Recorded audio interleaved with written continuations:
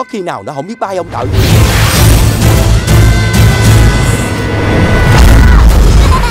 Nữa đi, nữa đi. Khách sạn Huyền Bí phần 2 Dự kiến khởi chiếu 25 tháng